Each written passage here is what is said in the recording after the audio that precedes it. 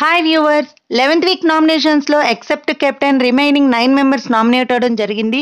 అయితే నైట్ ప్రోమోలో big boss చూపించిన విధంగా ఒకరు ఇమ్యూనిటీ ద్వారా సేవ్ అవుతారు. ఈ వారం నామినేషన్స్లో ఉండరు. అది కేవలం ఈ వీక్కి మాత్రమే. అయితే వారు ఆ ఇమ్యూనిటీ కోసం వారు మనీ స్పెండ్ చేయాల్సి ఉంటుంది. విన్నర్ క్యాష్ ప్రైజ్ నుంచి. అయితే ఇది టోటల్గా కంటెస్టెంట్స్ ఓన్ డెసిషన్ మీదే డిపెండ్ అయి ఉంటుంది.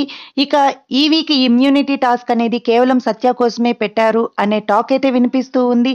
చూద్దాం ఎవరికి ఉపయోగపడుతుందో. అయితే ఈ ఇమ్యూనిటీ టాస్క్ వల్ల ఓటింగ్ అయితే గందరగోళం అయిపోయింది. ఇవి కేవలం సర్వే పోల్స్ మాత్రమే. నిన్న ఎపిసోడ్ తర్వాత ఇనాయాకి ఓటింగ్ గ్రాఫ్ బాగా పెరిగింది. రేవంత్కి ఈక్వల్గా వచ్చింది.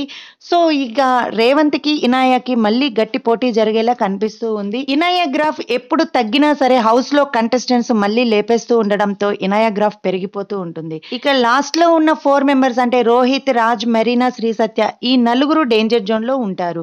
ఇక నిన్న బిగ్ బాస్ ఇచ్చిన ఇమ్యూనిటీ టాస్క్ లో ప్రైజ్ మనీ నుంచి ఎవరు ఎంత అమౌంట్ రాసే ఛాన్స్ ఉందనేది మీ ఒపీనియన్ని నాకు కమెంట్ సెక్షన్లో షేర్ చేయండి.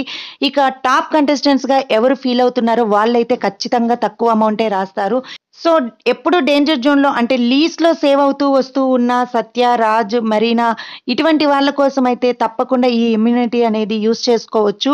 సో ఎవరికి ఇమ్యూనిటీ వచ్చిందనేది నెక్స్ట్ వీడియోలో అప్డేట్ అయితే వస్తుంది. తప్పకుండా మన ఛానల్ని సబ్స్క్రైబ్ చేసుకొని ఫాలో అవుతూ ఉండండి. అలాగే వీడియో నచ్చినట్లయితే ఒక లైక్ ఇవ్వడం మాత్రం మర్చిపోకండి.